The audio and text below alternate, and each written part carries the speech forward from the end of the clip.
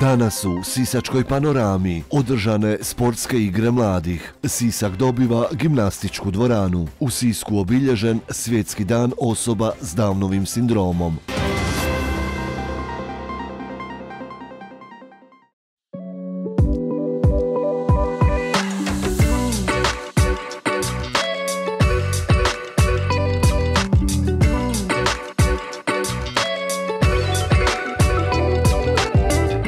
Više od 2000 djece ispunilo je dvoranu Zeleni brijeg u Sisku. Naime, u sklopu dana sisačkog sporta održano je i natjecanje u sklopu sportskih igara mladih. Atmosferu u sportskoj dvorani Zeleni brijeg najbolje su opisala nasmješena dječja lica i veseli poklici koji su odzvanjali dvoranom. Svečani program započeo je paljenjem baklje koju su donijeli mladi sportaši Siska, predvođeni odbojkašima Dominikom Maričevićem i Ivanom Čičkom, članovima odbojkaškog kluba Siska. Sisak i karetskim reprezentativcima Hrvatske. Gradonačelnica Siska Kristina Ikić-Baniček u zamjenika Marka Kričku otvorila je ovogodišnje sportske igre mladih.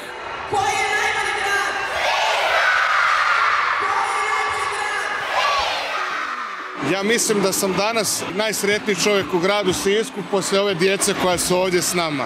Mislim da prvi put da sam u ovoj prekrasnoj dvorani uh, sa ovoliko puno djece E, danas se, ako ko nije znao do današnjeg dana, zna se zašto je napravljena ova dvorana.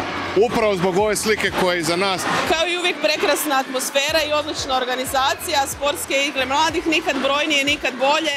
Zaželjeli smo naravno svi puno uspjeha mladim sportašima koji su jedva čekali da se natječu i nadamo se nastavku suradnje i još više djece sljedeće godine. Djeca su se natjecala u atletici i graničaru u dvije kategorije, 2013. godište i mlađi te 2015. godište i mlađi. Kao posebno popularna disciplina istaknuo se graničar koji kroz natjecanje miješanih ekipa, dječaka i djevojčica potiče na druženje i inkluziju, a u Sisku se natjecalo čak 50 ekipa ekipa. 28. sezona e, sportskih igara mladih dala je na važnosti gradu Sisku, ajmo tako reći, i prvi dan sporta, Telemak dan sporta održava se.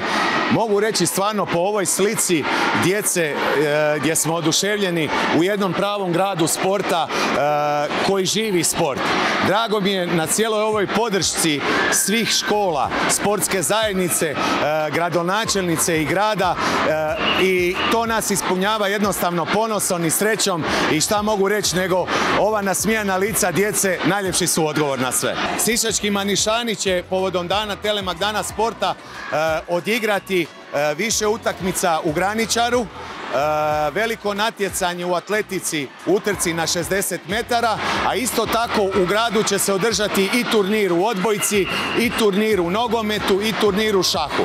Tako da Telemah e, Dan sporta ima svoju jednu veliku širinu i praktički okuplja svu djecu svih škola u Sišačkom gradu. Najbolje očekuje, kao i uvijek, sportske igre mladih, e, vode ih na veliku završnicu ove godine u Rijeku, tako da Rijeka će ih primiti e, sa svom svojom sportskom infrastrukturom, gostoprimstvom, morem i svime što se može poželjeti za jedno pravo sportsko natjecanje. U sklopu sportskih igara mladih djecu su educirali i predstavnici policijske uprave Sisačko-Moslovačke u sklopu nacionalnog programa sigurnosti cestovnog prometa te Crveni križ grada Siska, a odlično su se zabavili i u Eon Corneru. Najbolje ekipe natjecanja izborile su plasman na državnu završnicu u Rijeci krajem srpnja, a u 28. sezoni plazma sportske igre mladih samo u Hrvatskoj okupit će više od 110 tisuća djece i mladih.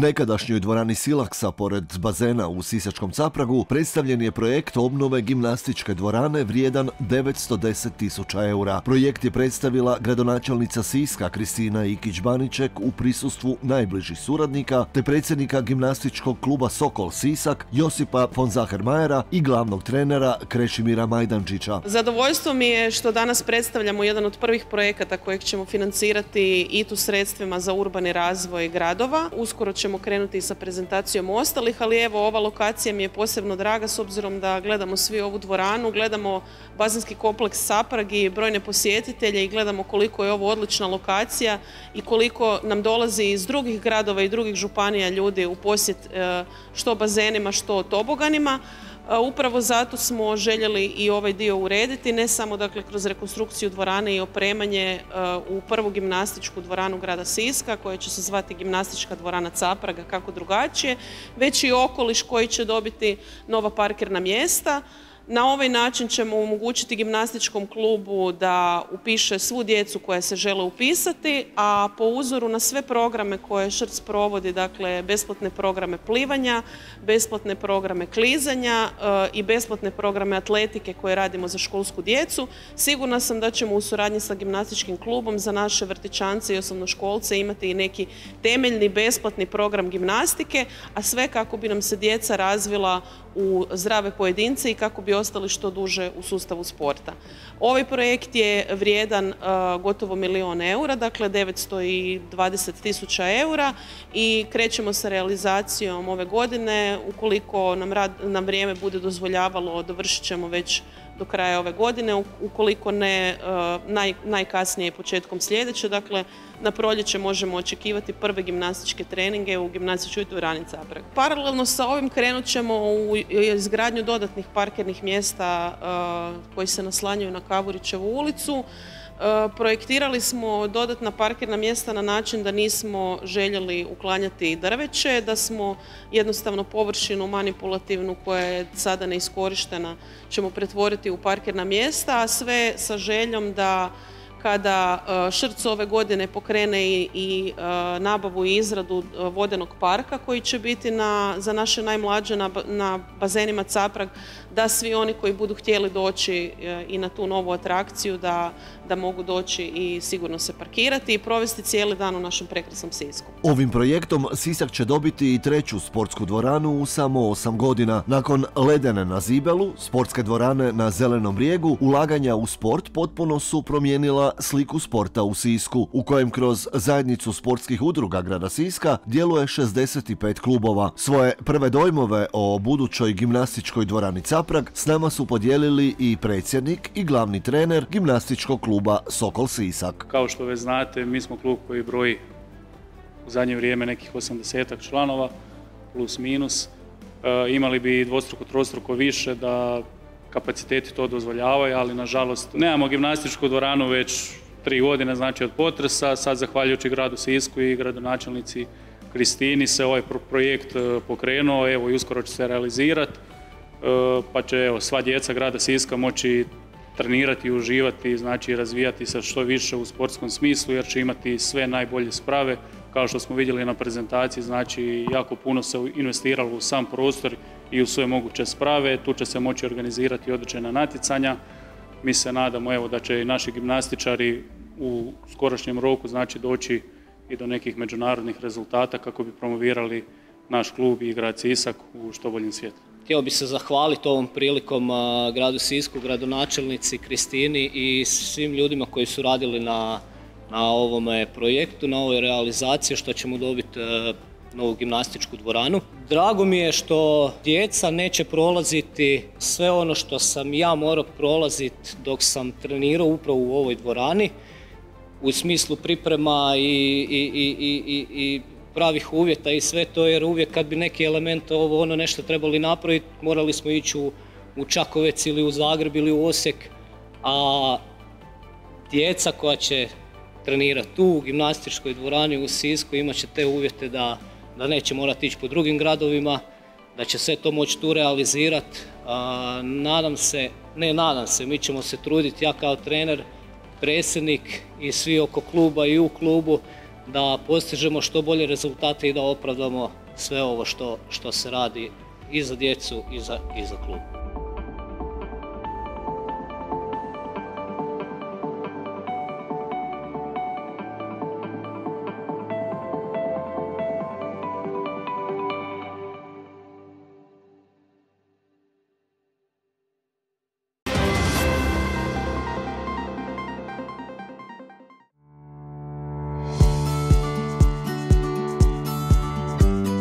Povodom svjetskog dana osoba s Downovim sindromom u Sisku je organizirana kava s kromosomom viška i najljepšim osmijehom na svijetu. Kavu su skuhali sišćanke i sišćani s Downovim sindromom u svrhu prikupljanja donacija za razvoj inkluzivne farme u Hrastovici. Ovdje smo na ovoj lokaciji u Kafe Baru Grill povodom obilježavanja svjetskog dana Down sindroma kojim zapravo se e, želi osvijestiti javnost, podići zapravo razina svijesti da postoje oko nas osobe koje imaju Down sindrom i koji žele zapravo biti ravnopravni članovi ovoga društva, koji mogu, koji su sposobni i evo danas oni to pokazuju svojim zapravo prisustvom ovdje. Nastojimo zapravo ih uključiti u svakodnevne aktivnosti, da budu radno sposobni, da pridonose društvu, da pridonose zajednici u kojoj žive. E, nastojimo ih zapravo uključiti u sve moguće aktivnosti mi kao udruga E, istina da uvijek postoji prostora za napredak, e,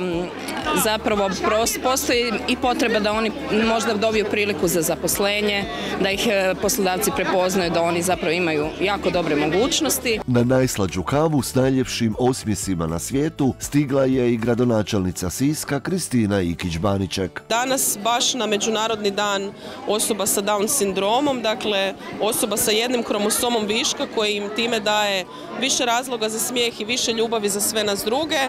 E, prekrasna prilika da se svi sišćani uključe, e, popiju kavu, e, vide da su i osobe sa invaliditetom savršeno sposobne raditi, zarađivati, biti dio naše prekrasne zajednice i zapravo kroz svoje priloge i plaćanje svojeg pića i donacije pomažu jednom prekrasnom projektu udruge osoba sa invaliditetom. Radi se o inkluzivnoj farmi Hrastovica e, gdje sva ova divna djeca i svi ovi divni ljudi uzgajaju voće, uzgajaju povrće, e, uče sve o tradicionalnim obrtima, druže se, e, dakle nešto što ih čini korisnima, nešto što im daje razloga za smješak i nešto što im daje razloga da dođu, upoznaju se međusobno i međusobno se osnažuju. Ovogodišnju kavu u grilu u Sisku posluživali su Roko, Sven, Katalea, Helena, Melani, Bruno, Zara, koji su eure koje su dobili za svoj trud stavili u donacijsku kutiju za inkluzivnu farmu u želji da pomognu vratiti mlade osobe s invaliditetom na inkluzivnu farmu u Hrastovici i osigurati njihov tjedni boravak na radionicama koje imaju za cilj stjecanje neophodnih svakodnevnih životnih vještina za što kvalitetnije i samostalnije življenje. Udruga osoba s invaliditetom Sisačko-moslavačke županije zapravo nastoji za svojih 300 članova obuhvatiti cijeli